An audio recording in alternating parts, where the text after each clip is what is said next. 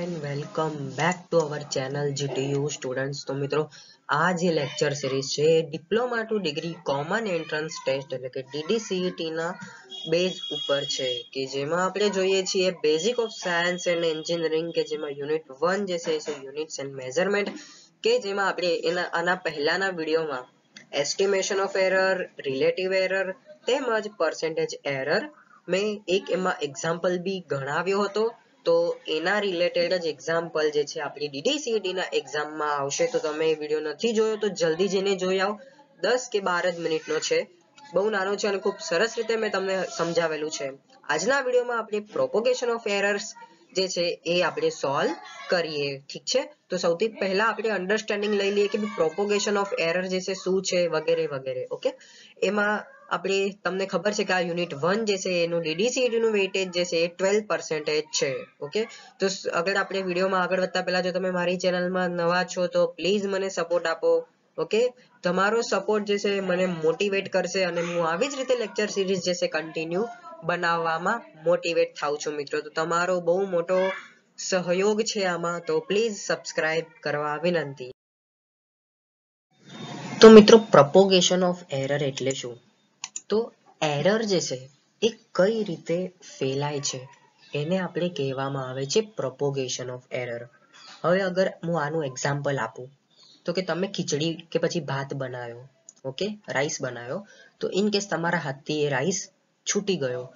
તો આમ ઢોળાઈ ગયો. તો શું થઈ જશે? એ રાઈસ જે છે એ ફેલાઈ જશે. હજી ખીચડી તમે બનાવી. એ આમ જમીન ઉપર ફેલાઈ જશે. ઓકે? તો એને જ આપણે કહેવામાં આવે છે પ્રોપોગેશન ઓફ એરર તો પ્રોપોગેશન ઓફ એરર જે છે, ત્યારે થાય છે જ્યારે કોઈ બે ક્વોન્ટિટીને આપણે એડ કરીએ છીએ કે પછી સબસ્ટ્રેક્ટ કરીએ છીએ, કે પછી મલ્ટિપ્લિકેશન કરીએ છીએ, કે પછી ડિવાઈડ કે પછી કંઈ પણ બીજું મેથેમેટિકલ ઓપરેશન કરીએ છીએ ને, ત્યારે આ પ્રોપોગેશન ઓફ એરર જે છે એ થાય છે. એટલે કે એરર જે છે આવી રીતે ફેલાય છે. ઓકે? હવે આનું આપણે એક્ઝામ્પલ ના દ્વારા આપણે સમજીએ. પણ એ પહેલા મિત્રો, આપણે ડીડીસીટી ને અગર હું ધ્યાનમાં રાખું, તો ડીડીસીટી માં વધારે ચાન્સીસ છે કે ભાઈ એડિશન અને સબસ્ટ્રેક્શન વાળા કેસ આવે. એટલે મલ્ટિપ્લિકેશન ઓર ડિવિઝનના કેસ મને નથી લાગતું કે એ આવશે. કેમ કે આ થિયરી જે છે એ બહુ લાંબી થઈ જશે. તો અત્યારે જે છે આપણે એડિશન અને સબસ્ટ્રેક્શન ઉપર જ વધારે ફોકસ કરીશું.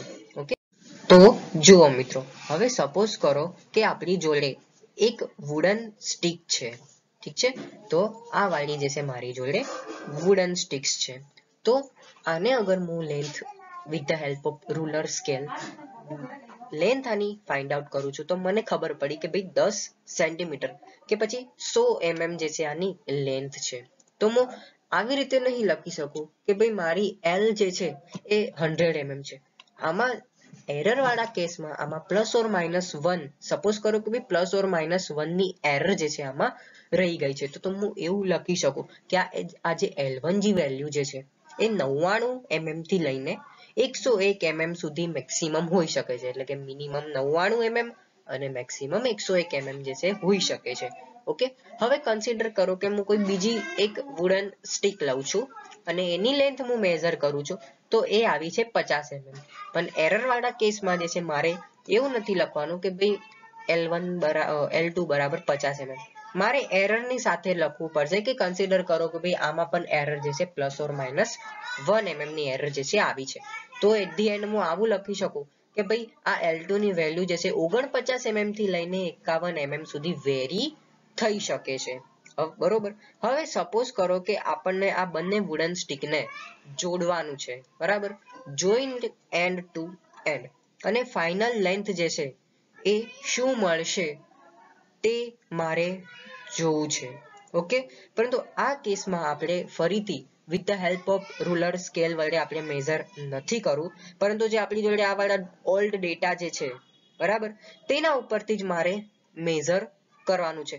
તો આવા કેસમાં આપણે શું લઈશું? L1 બરાબર L1 પ્લસ L2 બરાબર? એટલે કે એડિશન વાળા કેસમાં આપણે શું લઈશું? L બરાબર L1 plus L2 which means L1 એટલે કે આ વાળી વોલ્ડન સ્ટિક અને L2 બરાબર. આજે બીજી વોલ્ડન સ્ટિક જે મેં લીધી એ વાળી.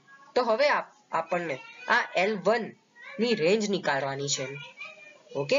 તો એની માટે આપણે શું કરવું પડશે કે ભાઈ એની મિનિમમ વેલ્યુ એટલે કે L1 અને L2 આ બંનેની જે મિનિમમ વેલ્યુ છે, જેમ કે કન્સિડર કરો કે L1 ની મિનિમમ વેલ્યુ જે છે એ છે નવ્વાણું mm કરેક્ટ અને L2 ની મિનિમમ વેલ્યુ જે છે એ છે ઓગણપચાસ mm તો આમ બંનેનું થઈ જશે one forty eight mm okay હવે મેક્સિમમ વેલ્યુ માટે હું શું કરીશ? તો કે L1 અને L2 ની જે મેક્સિમમ વેલ્યુ છે, એને બંનેને હું જોડી દઈશ.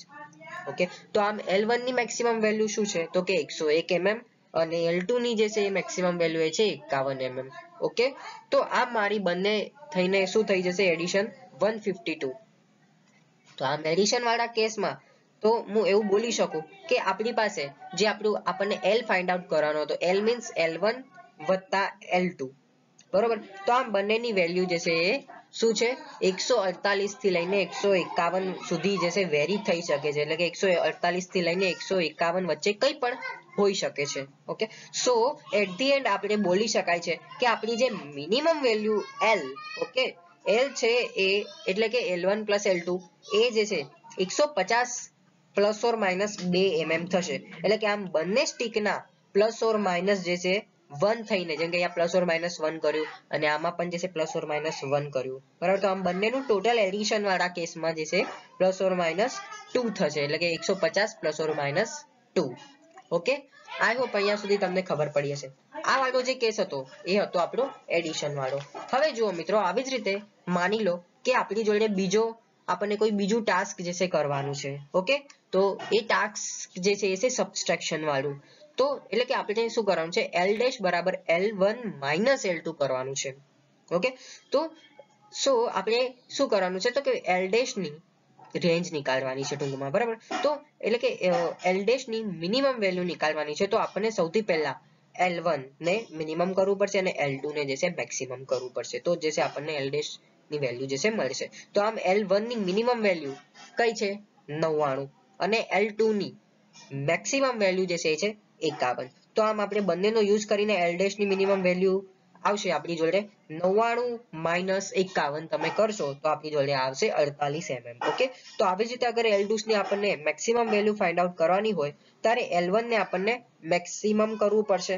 એટલે કે એલની મેક્સિમમ વેલ્યુ શું છે? એકસો એક ઓકે અને એવી જ રીતે એલની મિનિમમ વેલ્યુ ને લઈ લઈએ તો એ આવશે તમારી ઓગણપચાસ એમએમ ઓકે તો આમ આપણે એકસો એક માઇનસ ઓગણપચાસ કરીશું તો આપણને મિનિમમ વેલ્યુ આવી જશે આપણી બાવન.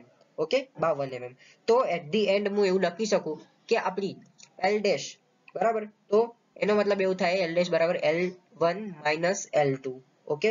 તો એ અડતાલીસ mm થી લઈને બાવન mm વચ્ચે કંઈ પણ હોઈ શકે છે. સો ફાઇનલી હું L ડેશ એટલે કે આપણી L1 માઇનસ L2 ની વેલ્યુ પચાસ પ્લસ ઓર માઇનસ બે mm જે છે, આવી રીતે હું લખી શકું છું. આઈ હોપ કે તમને અહીંયા સુધી આ આપણું એડિશન અને સબસ્ટ્રેક્શન વાળું જે કેસ જે છે એ ખબર પડી હશે, મિત્રો.